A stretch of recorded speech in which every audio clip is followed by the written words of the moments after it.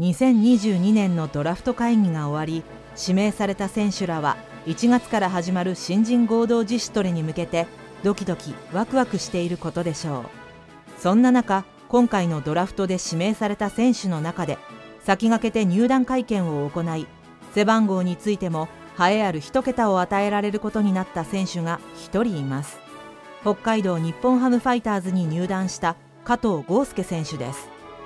皆さんご存知の通りこの選手は他のドラフト指名された選手のキャリアとは大きく異なるキャリアを歩んできました。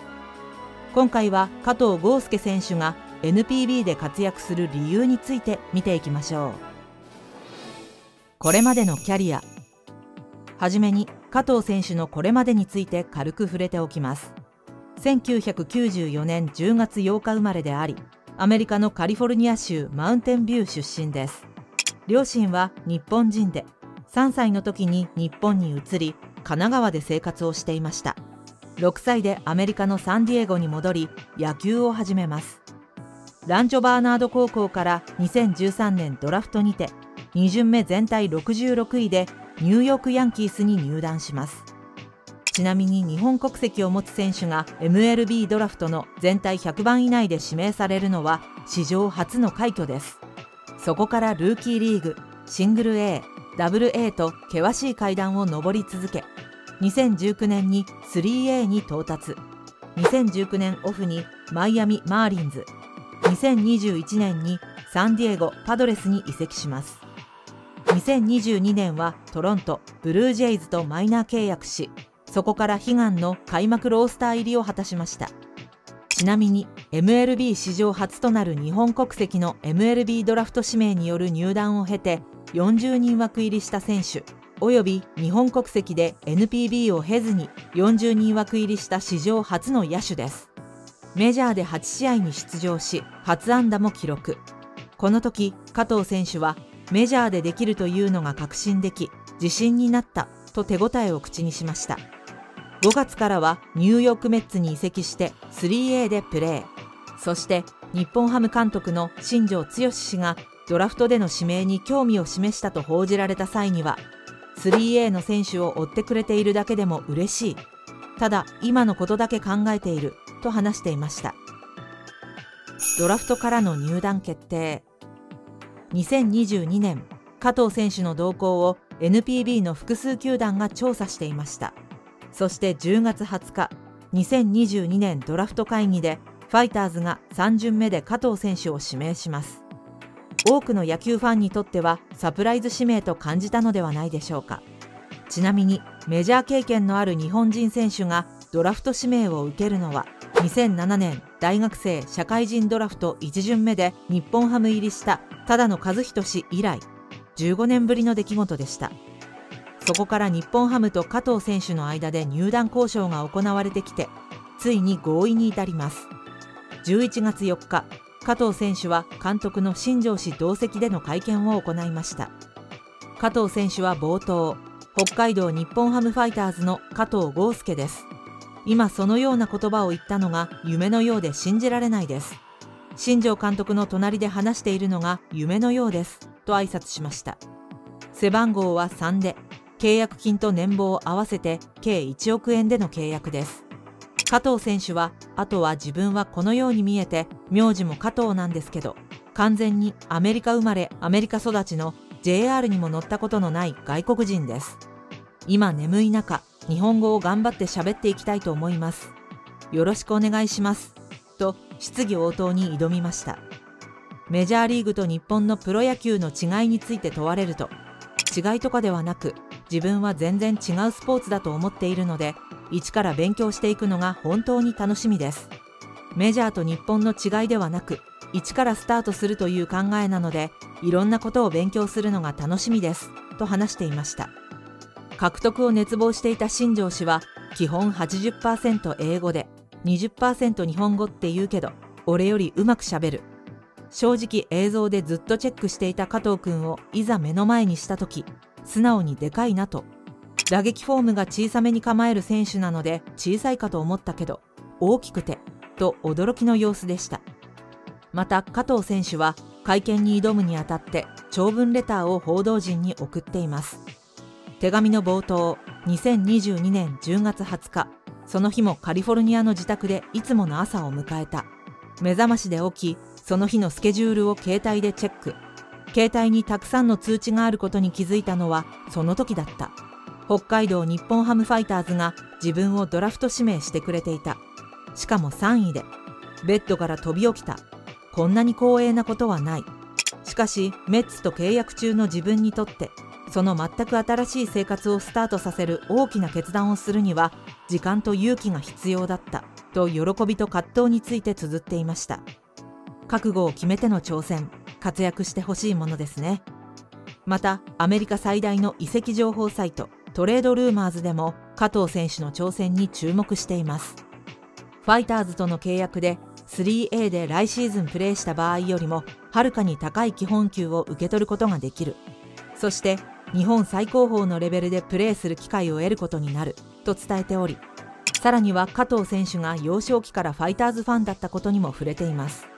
日本で十分な活躍を見せることができれば将来メジャーの球団が興味を持つかもしれない。今のところ彼は複数のポジションを経験した内野手の選択肢の一つとして考えられている。と今後の活躍にも期待を寄せています。新庄監督が描くプラン。では指揮官は加藤選手にどのような期待をしてどのような起用を描いているのでしょうか。新庄氏はドラフト指名を終えた後の記者会見で加藤君は左投手に強く長打を打てるセンスを感じる。来年のキャンプでは彼の才能を見極めてどういう方向性でプレーしていくか考えていきたいと話しています。加藤選手の入団会見で新庄氏は加藤選手に対して恒例の質問いきますか？どこを守りたい？本音でと質問。加藤選手は少し戸惑いを見せ今言うんですか？としながらもじゃあ4番キャッチャーでとユーモアを交えて回答しています。その後改めて起用イメージを問われた新庄氏はキャンプを見てプレーを見てからじゃないとわからないんですがセカンドで5番6番あたりを打ってもらえたら強いチームになると起用プランの一端を明かしていました。5番6番となるとポイントゲッターの活躍が求められるためまずチャンスに強いか強くないかというところを早く見たいし一番のポイントはアメリカ生活しかしていないのでストライクゾーンが全然違うんですよ。僕もアメリカに行って思った。キャンプからブルペンにいっぱい入ってもらって早くストライクゾーンをインプットしてもらいたい。ここが一番のポイントじゃないかなと加藤選手にアドバイスを送っていました。そして加藤選手への期待を裏付けることができるのではないかという出来事が10月18日にありました。日本ハムと阪神の間で2対2のトレードが行われたのです。内容は日本ハムから渡辺亮選手と高浜優斗選手が放出され阪神から江越大賀選手と斉藤幸也選手が加わりました。GM の稲葉篤紀氏は江越選手はボスからも名前が挙がっていて気になっているという話は以前からありました。と新庄氏からの要望があったことを明かしています。日本ハムから放出した2選手はいずれも内野手であり加藤選手がメインポジションとして守る可能性の高いポジションです。また両選手は1軍経験も豊富であったためそれだけ加藤選手にかかる期待は大きいのではないかという見方もできるでしょう。活躍を裏付ける要素。新庄氏が絶大な期待を寄せている加藤選手ですが活躍を示唆するデータがネットで上がっているので紹介しておきます。メジャーリーグに詳しい有識者は加藤豪将はゾーンコントロールに秀でたクレバーなペイシェントヒッターと高く評価。また守備面ではセカンドをメインにファーストサード。さらには外野で起用可能というマルチ性が非常に高い。他にも質の高い俊敏性にクイックスロー。鮮やかなハンドリング。ピボットが際立つスマートなディフェンダーと評価。守備を重視する新庄氏には特にフィットするのではないでしょうか。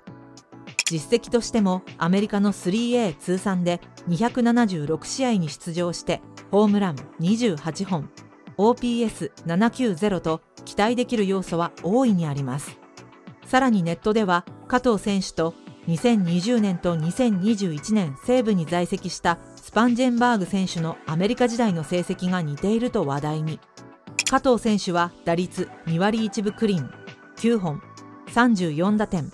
32四球。73三振 OPS682 WRC プラス83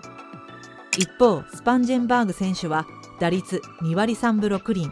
10本42打点。27四球。135三振。OPS675 WRC プラス77大きな差がないという点と加藤選手の方が圧倒的に三振が少ないという点で期待が持てます。ネットでは三振がちょっと少ない元西武のスパンジェンバーグやいいじゃんマイナーのルーキーリーグからメジャー枠勝ち取った男は日本人初なんだから期待してるという声が高まっています。さらには先の未来についてもファイターズでプレーすることにより中米スカウト内定してるようなもんだしな。よかったじゃん。引退後は海外スカウトか。これで加藤はもう将来安泰だな。確実に球団から職もらえるし。などという声もあります。実際に英語日本語だけでなくスペイン語にも対応できるそうなのでスカウトとしても期待できそうですね。ということで今回は北海道日本ハムファイターズの加藤豪介選手についてご紹介しました。個人的にファイターズの加藤選手獲得を経て来季への本気性を感じさせられます。新庄氏のサプライズ指名が成功したと言えるのか今から開幕が楽しみになりますね。